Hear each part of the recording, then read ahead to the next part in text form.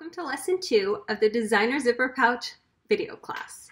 So in this lesson, it's all about zippers. I really like the wide handbag zippers. They have a nice big zipper pull, as you can see here, a nice big zipper tape, and they're just really easy, high quality. It makes for a designer zipper pouch. This is what we want.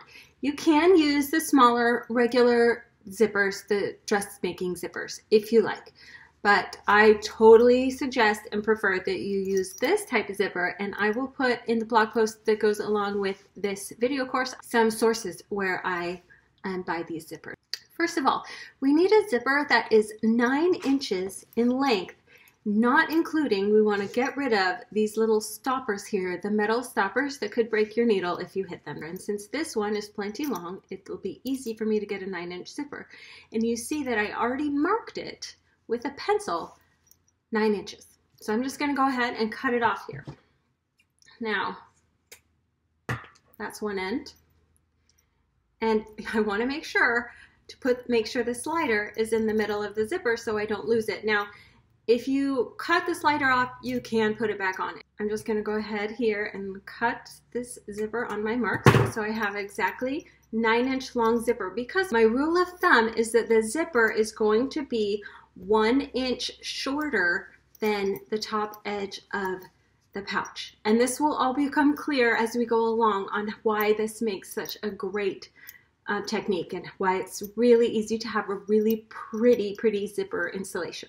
I'm going to show you how I use the zipper by the yard instead of just a regular zipper to cut it off to put on the right size slider. And I'll also show you how I use my sewing machine to just make my own little thread stopper at either end that makes it really easy and also I'm not going to accidentally pull the slider off and then have to put it back on again. So here's my zipper by the yard. I've got about a yard left of it. There were four yards in the package. So what I'm going to do here is measure nine inches from this and then just cut it off. Just going to measure nine inches and cut off a 9 inch piece that I will use. Now since this is the zipper by the yard, then I just pull it apart and I've got a little bag of pulls here that came with it. So insert these into the little pull.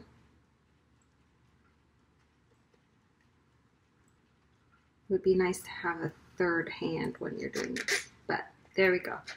So Um, I'm just going to even this up a little bit. It is starting to fray, so I'm going to really go quick now and sew it into my project. I'm going to go ahead and sew myself a little stopper here because I don't want to accidentally pull off the pull. I could put it back on, but that's annoying. And I still have my fuchsia thread that I was using for the quilting, but it's going to be just fine.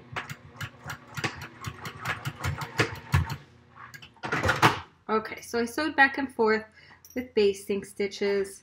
I think that'll hold long enough at the very ends of my zipper. So I have a 9 inch zipper that has the new thread stoppers here and I can sew it to my back.